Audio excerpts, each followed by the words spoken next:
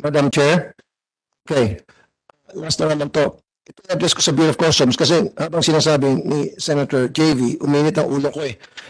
Bureau of Customs, pinanghuli niya itong mga airline crew na binanggit ni Senator JV. The heck? Inarang niyo na pangpasalubong lang. Eh bakit yung mga malalaking big time smugglers na paulit-ulit na binabanggit, binanggit lang kanina ni ah, Madam ah, ah, Cynthia, in fact, It's on the article. I read the the article. article. And I did mention that also several months ago. Bakit yung mga iho, de blanc, hindi nyo pinag-uulit, pinagkukulong?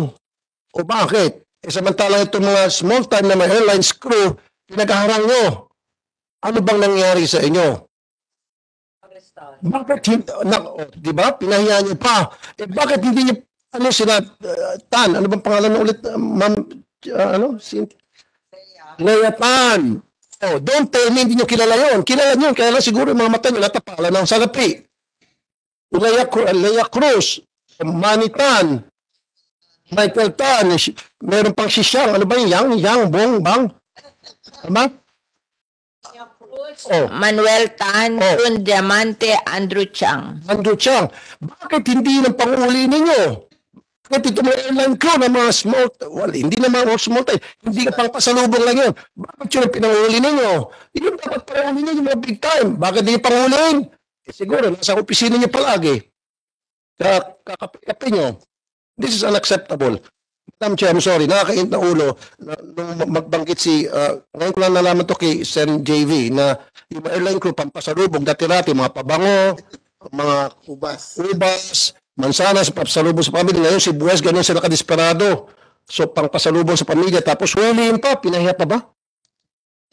Oo. Ang problema, idol, eh, naka-airline uniform sila. Siyempre, na ano rin yung airline mismo. Di ba? Kaka- Kayo dyan sa ano, ang kakapal na mukha ninyo. Pinahiya niyo pa itong airline crew. Pampasalubong lang sana sa pamilya. Huli yung mga big time smuggler na binanggit ng ano, Senator Cynthia na kinote from the newspaper, uh, yung article ni uh, uh, Darius Bondok. Nagbanggit ako dito several months ago. Yung paghuli, hanggang ngayon, nandun pa rin sila. Oh, tapos yung airline crew, pinaghuli niyo, pero yung mga big time, hindi niyo pinanghuli. Nangyari? Diba? I'm sorry, Madam Chair, kung ako po nagalit dahil ito mga small time, ito mga maliliit, na pasalubong lang sa kanilang pamilya, eh, hulihin at papahiyain. Mga big hindi na pinanghuli. Siguro kainuman yung paggabi-gabi. Baka copy nyo. Siguro nandiyan pa sa opisina, eh, baka naka-D4 pa, na siguro pa sa mesa habang kinakausap kayo. Tapos siguro may dalang uh, sako-sakong salapi. God damn. Sorry po. Yan po mga kababayan, ang napanood yung video ay courtesy of SMNI at sa palagay ko yan din po ay courtesy of the Senate of the Philippines. Ah, pinutol ko na lang po sa portion na kung saan kinagagalitan ni Senator Rapi Tulfo ang mga taga BOC. Kasi po, doon po sa ating previous vlog, eh meron pong sampung flight attendant ng Philippine Airlines ang kakasuhan daw ng smuggling because of bringing in 11 kilos of onions and their luggages with mga iba pang mga produkto na wala po silang maipakitang mga permit to bring those products in sa ating bansa. So, smuggling daw po. Allegedly, smuggle those goods. Allegedly. Ngayon, Diyan po sa Senate hearing ng Department of Agriculture, isiningit na po yan ng Senator Rapi Tulfo. Na kung saan, binanggit na rin po ni JB Ejercito ang kanyang pagkainis doon po sa pagpapapahiya sa mga sampung FAs ng Philippine Airlines. Sabi niya, sabi nga po ni JB Ejercito, nabanggit na rin po natin ito sa vlog nga po natin na yon, na yung BOC or DA should go after the big time smuggler. Yang mga sampung FAs ng PAL, eh baka napag-isip-isip nila na instead ng mga tsokolati, kapi, ano, gatas, at kung ano-ano pang ipasalubong nila sa kamag-anak nila, no? E nilang bumili ng sibuyas. Na kung saan siguro, kung saan sila napunta, yung, kasi from Dubai and Riyadh daw yan, mas mura ang sibuyas doon kaysa nga naman po sa Pilipinas. Eh di makakatipid pa sila. Yung nga lang ang pagkakamali nila is nakalimutan nila na kailangan mo talagang magpakita ng permit at i-declare mo yan. Pero sa BOC naman, dun nga po sa aking opinion sa ating vlog na yon, kung ako sa BOC, eh dapat ah for leniency naman. Kumbaga, sinabihan nyo na lang yung mga FAs na wag nyo ulit itong gagawin, i-confiscate namin lahat yan. But we will give you a verbal warning o di kaya bigyan sila ng written warning that if you will do this again and again, eh, i-implement na na natin yung batas. No? Kasi po, tama naman po dito si Ginoong Rapi Tulfo at JB Ejercito. No? Na, bakit nyo naman titirahin pa ng smuggling ang mga yan? Bakit hindi nyo habulin yung mga big time smuggler? Bakit sinabi niya na pangalanan po sa isang article kung sino yung mga smuggler, yung mga may tan, no? May mga tan, tarantado yan, no? Nandiyan po, napakinggan nyo. Kinote nila kung sino yan, tatlo po. Pero ano ginagawa ng DA at ng BOC? Bakit hindi nyo hulihin?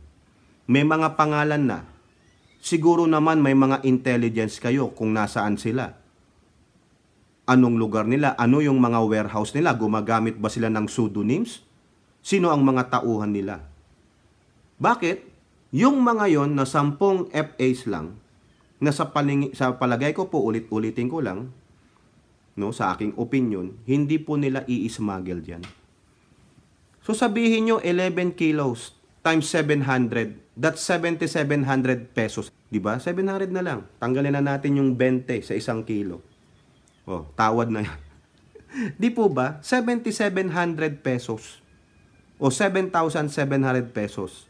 Sa halagang yan, maapektuhan ba ang ekonomiya ng bansa? Sa palagay nyo ba, ibebenta nila yan? Correct po kayo mga taga BOC at DA na wala silang phytosanitary permit kasi hindi nyo alam kung merong, kung magkakaroon ng masamang epekto yon mga pagkain na yon pag kinonsume nung mga kamag-anak nila o nung pinagbigyan nila. Kaya nga pong sinasabi ko sa inyo, dapat kinompescate nyo na lang at binigyan nyo sila ng warning o sinabi nyo na dun sa management at bahala na ang management na gagawa ng action. Pero po kayo, i-look out nyo na yung mga pangalan nila para just in case na gagawa ulit sila ng ganyan, eh talagang kulong na sila. Di po ba? At ito pang masakit na sinabi ni Senator Rapi Tulfo sa inyo.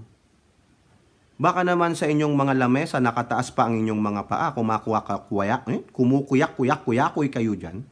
O di kaya, naabutan na kayo ng sako-sakong mga, ano, datong. Hindi po ako nagsabi niyan. Si Mr. Rapi Tulfo po. Si Senator Rapi Tulfo. At mga pinagmumura pa nga kayo eh. Mga iho di blank na nga daw kayo eh. Ito totoo naman po. Di po ba? Ang gagaling ninyo na manghuli ng sinasabi nyong mga smuggler. Eh sino yung mga smuggler yon? Yung sampo? Sampo yon? Sa palagay nyo ba mga smuggler yon? Kayo mga taga BOC, tatanong lang ako sa inyo. Sasabihin nyo siguro, oh, smuggler yan kasi they, they, they violated the law. Yes, they violated the law innocently. 'Di ba? Pero sabi nga natin, no one is exempted sa law. Whether innocent innocently or not. Pero sa inyo, sa palagay nyo, sa opinion ninyo, smuggler ba sila? Siguro bigyan nyo na lang ng fine. Maybe the law is flawed at the very beginning. Pero kung ikukulong yan, kawawa naman. Kung ang pamilya dumidepende lang dyan sa kanila, innocently nga eh. With the goodness of your heart. No? O ikaw naman, Tokis, kinakampihan mo naman yung... Sa akin po kasing palagay, ano? Tama naman po itong ating senator, si JB Ejercito, sa si Rapi Tulfo. Go after those big time smugglers. O baka naman, yung mga big time smuggler, itinapalan ng inyong mga mata at bunganga. Kaya ang nahuhuli nyo lang ay itong mga maliliit na nagdadala ng 5 kilo, 11 kilo na walang mga permit para lang sabihin na ang ganda ng imahe ninyo. Eh pero sino nahuli nyo? Ayan ba? Sila ba ang gumawa ng economic sabotage? Sila ba ang magpapabagsak ng ekonomiya ng bansa? Sila ba magpapabagsak sa produkto ng mga magsasaka? Sa 11 kilos ng mga sibuyas sa kanilang mga bag? BOC, DA, ano? Hindi yun. Ang magpapabagsak sa ating ekonomiya are your incompetence at walang walang kasiguruhan na pagtugis sa mga smuggler na kung saan ibinanggit na yung mga pangalan sa inyo pero wala kayong aksyon. Your inaction sa inyong inaction, ibig sabihin wala kayong ginagawa, ayan, nagkawindang-windang ang ating agrikultura. Bakit? Baka tama nga naman si Sir Rapi Tulfo na kayo po ay natapalan ng milyon o bilyong mga salapi na ang inyong alkansyang baboy ay tuwang-tuwa at busog na busog.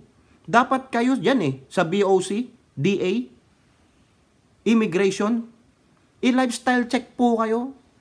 Kung ako sa Senado, magre-recommenda ako ng committee na ito, ilang tao yan, 10-man committee, na magsasabing re-reviewin natin ang buhay, kapuhayan ng mga nandyan sa BOC. Ewan ko lang kung hindi magsipag-resign ang mga hindot na yan. Biruin nyo para lang mapaganda ang kanilang imahe. Ha? May masabing, oy, nakahuli kami ng smuggler. Yun, yung sampung flight attendant. Smuggler yun? Kayo po mga kababayan. Siguro napanood nyo, di ba? Yung video na inatouch natin. Credit po sa Senate of the Pi- Philippines, sa saka sa SMNI. Sana hindi po tayo i-copyright. Sino ang hindi magagalit dito? Ako po, nasa panig ako ni Senator Rapi Tulfo at JB Hercito. Okay, hulihin ninyo. Kumpiskahin nyo po yung dala ng mga FAs na yon. Ang punto ko, huwag nyo nang kasuhan ng smuggling. Give them a verbal o written warning, no? Na sana hindi na sila uulit. Ngayon, pag umulit pa sila, edi fully implement the law. Dito ang hinihingi po natin is leniency. Sana naman. At the same time, bahala na yung management ang gumawa ng proper decision sa kanila. Tulad nga po ng nasabi natin sa ating unang vlog about this. No? Na, dito po. Diyan sa LAX, LAX, Los Angeles Airport. Saksi po ako kasi ako napunta ako doon na second line ako. Dahil lang sa tinapay na naglalaman ang karne na dapat kainin ko sa eroplano, eh, hindi ko po kinain, binaong ko sa bag ko, na amoy po nung canine, nung aso. O ang ginawa nung immigration officer, what do you have in there? Oh, I think I have something here like a, a bread with a meat in it. Sabi kong ganon. Oh, okay. Punta ka dun sa second ano, inspection. Na-inspection ako. Ah, haba pila. Oh, kinalkal lang. Tapos nakita, oh ito, next time don't do it. Oh, okay. Sabi ko, sayang, gutom pa man din ako. Kumakalam na yung tiyan ko. Di po ba? Ganun lang. Verbal lang. Next time, don't do this again. Tinapon. That's it. Yung iba nga eh, mas worse pa sa akin eh. Buto. Mga buto, mga seeds, bawal po yun. Sigarilyo, bawal yun. Pinagkukuha lang. Tapos binigyan sila ng warning. Eh mas matindi sa ibang bansa. May penalty. O sana kung gusto nyo ipa-penalize tong mga to, penalize nyo. Kunin yung produkto. Huwag nyo silang sabing smuggler sila. They're not smuggler. Meron bang smuggler na lantaran? Hindi po. Di po ba? O, di sana. Hindi na nangyaring ganito. In-internal nyo na lang. Di ba? O, nakita pa yata, sila na rin ang sumisira, yung mga nasa PAL. Ayun na lang mali nyo. Di ba? O kung ako sa management, no, kung pwede sana, no, hindi natin naman sinasabing wag nyo nang sundin yung batas, sinunod naman nyo ang batas, pero sana naman for leniency sake, sa akin lang. Maawa naman kayo dun sa mga ating mga FAs ng PAL. Maawa naman po kayo. May pamilya rin siguro namang umaasa sa kanila. Siguro nagkamali sila, nagkamali sila. Patawan nyo ng parusa, probably penalize ninyo, pero huwag nyo naman pong ipakulong na. Kawawa naman yan. No? Yun lang po, ano po mga kababayan, ang inyong opinion dito po sa sinabi ng ating butihing senator uh, Rapi Tulfo, no, na kanyang kinastigo ang BOC tungkol po sa pag-aresto sa mga sampung FAs ng Philippine Airlines. Comment down below. I hope to see you on our next videos. Bye-bye. God bless.